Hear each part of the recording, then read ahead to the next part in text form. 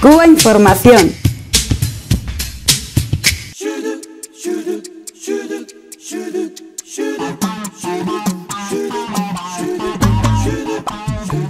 Bueno, seguimos adelante con el programa, en este caso hablando de qué organismos de Naciones Unidas elogian a Cuba. Estamos hablando, por ejemplo, de la FAO, que es la Organización para la Agricultura y Alimentación de Naciones Unidas. Estamos hablando de la UNESCO y estamos hablando también de la Oficina para la Reducción del Riesgo por Desastres.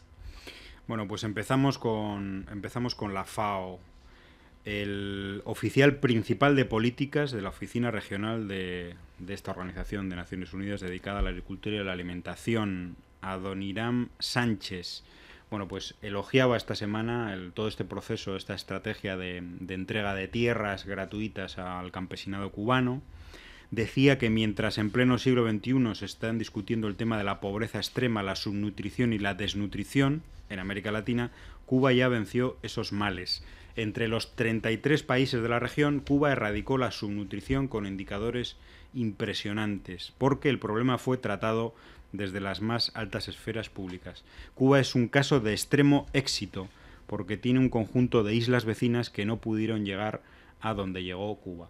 Bueno, pues es una de las eh, es uno de los funcionarios o altos funcionarios de Naciones Unidas que elogiaban a Cuba en este caso en el campo de la, de la agricultura, de esta estrategia de soberanía, de seguridad y de soberanía alimentaria, que por cierto todavía tardará unos años porque estamos hablando de que Cuba aún en el momento actual sigue importando una gran parte de sus alimentos, ¿no? Y el, y el objetivo a, a, medio y largo plazo es que finalmente existe una soberanía alimentaria, es decir, que Cuba sea autosuficiente, al menos en una parte importante de su canasta básica de alimentación.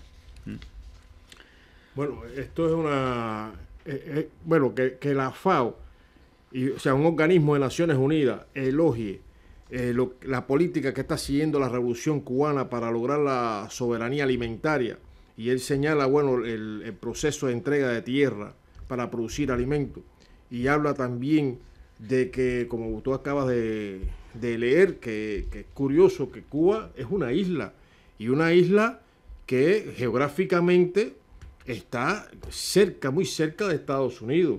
Pero hay otras islas, eh, islas de, de, de, del Caribe, eh, donde eh, no, esas islas no han logrado, y que son países, no han logrado estos logros de, la revolución cubana y el pueblo. Y señala, o sea, esta oficina regional de la FAO dio a conocer el panorama de la seguridad alimentaria y nutricional en América Latina y el Caribe de 2012 y habla de 49 millones de personas que son víctimas del hambre en el área. O sea, 49 millones de personas son víctimas del hambre. Repetimos este dato para que se tenga una idea de lo que ha hecho la revolución cubana y el, eh, la sin razón de la política de bloqueo. A pesar de la política de bloqueo, para, como hemos estado explicando y señalando y denunciando en numerosas ocasiones, eh, Cuba tiene logros que son incontestables y que eh, habla a las claras de la preocupación del gobierno revolucionario por los derechos humanos del pueblo cubano. O sea, eso hay que subrayarlo porque precisamente se ataca a Cuba y se le impone una posición común europea eh, muy en sintonía con esta política de bloqueo económico, financiero y criminal del imperialismo y a pesar de todo eso y de agresiones de todo tipo y de guerra sucia y de, y de, y de daños humanos y, de, y, materiales y de todo tipo, pues Cuba tiene estos logros que los reconoce un eh, importante eh, organismo de Naciones Unidas. Y como habla, desde, desde hace mucho tiempo, señala este alto dirigente, eh, Adonirán Sánchez, desde hace mucho tiempo, entre, entre los 33 países de la región, Cuba erradicó la subnutrición con indicadores impresionantes. El problema fue tratado en la más alta esfera pública. Es decir, que la política de la revolución cubana tiene en el centro de su preocupación a el pueblo cubano, al ser humano. Y ahí eh, es por ello y no solo el, el, ser humano, de, o sea, el, pueblo cubano, hay que hablar de la cooperación internacionalista a otros pueblos del mundo, la solidaridad permanente del pueblo cubano, la revolución cubana hacia otros países y otros pueblos del mundo. Eh, precisa que de los 33 países del subcontinente, solo 9 cuentan con una tasa de prevalencia de hambre inferior al 5%. Y estos son Cuba, Venezuela, Argentina, México, Uruguay y Chile. En 16 naciones del área la tasa es superior al 10%, 10% de, de, prevalencia de hambre. Otro funcionario de Naciones Unidas, otra, otra funcionaria en este caso, interesante, ¿no? Margareta Wallström, eh, de, la, de, la, Oficina de Prevención de Desastres Naturales, también mmm, nos decía que Cuba ha sido en este caso un modelo en el tema de la defensa civil. Pasamos a, a otro, otro capítulo en el que Cuba siempre sale con, yo diría, con una con buena nota, ¿no? En, en todas las calificaciones de Naciones Unidas, el sistema de defensa civil se interesaba y, viajaba a Cuba en estos, en estos últimos días porque tras el paso del huracán Sandy, que dejaba 11 muertos en Cuba, existía cierta preocupación sobre si se habían podido relajar pues los sistemas en Cuba. ¿no?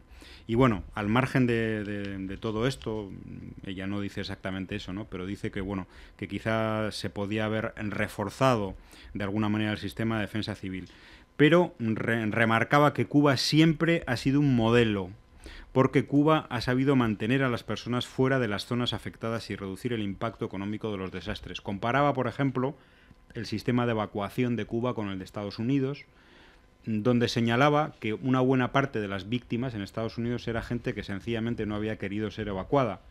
Y en Cuba, digo, en Cuba no hay nadie que vaya con una pistola y, le, y saque a la gente de sus casas. Sencillamente la gente tiene, tiene una cultura, una cultura de prevención de desastres. Es, ha sido educada desde la escuela, desde el CDR, etcétera, etcétera, desde su centro de trabajo y, ahí están los logros, ¿no? Eh, nos dice en Cuba, si a la gente se le dice que evacúe la zona, la evacúan, ¿no? Y comparaba esta, esta situación con la de Estados Unidos. Sí, no cabe duda que eso es parte, es que es una, es una política. Eh, yo digo que nunca, nunca en la historia de Cuba, en la, historia eh, reciente, en el tiempo, se ha desarrollado eh, políticas en diversos campos de, del quehacer del pueblo cubano y que tiene como, como eje, pues precisamente mejorar lo posible la calidad de vida y también lograr las más altas cotas de, de, bienestar, que estamos hablando del desarrollo de la salud, el desarrollo científico, técnico y dentro de ellos el desarrollo de la salud pública, el desarrollo de la educación, etcétera, del deporte, de la cultura, que esto, esto es eh, sea, elevar el, el nivel eh, educacional de la población cubana, hay que ver de dónde se viene, de dónde, de dónde venimos, decimos el pueblo cubano, qué cosa era Cuba eh, después de la oportunista intervención norteamericana en las luchas por la independencia contra el colonialismo español en 1898, cuando vino un gobernador militar norteamericano a usurpar el suelo cubano y ahí después de ello la enmienda Platt y lo que ya conocen. Pero bueno, en ese periodo neocolonial jamás ninguno de los politiqueros y de los presidentes al servicio de ese imperio hicieron nada, absolutamente nada parecido a lo que ha hecho la revolución cubana. Y desde luego nosotros decimos, bueno, ¿y cuál es la, cuál es la, la democracia que, que, enseñaron los, los imperialistas en Cuba en ese, en ese periodo, casi 60 años justo? ¿Cuál es la democracia? Ah, lo que pasa es que el imperialismo norteamericano y sus lacayos y sus secuaces están en otra dinámica, otra, otra dinámica que no tiene nada que ver con el pueblo cubano, ni con los verdaderos derechos humanos, ni con la verdadera democracia. La dinámica es, son intereses geopolíticos y interés, intereses de dominación, donde Cuba dijo el 1 de enero de, de 1959, no, se acabó, basta ya, como dice la canción de Carlos Puebla, llegó el comandante y mandó a parar. bueno, yo... Eh...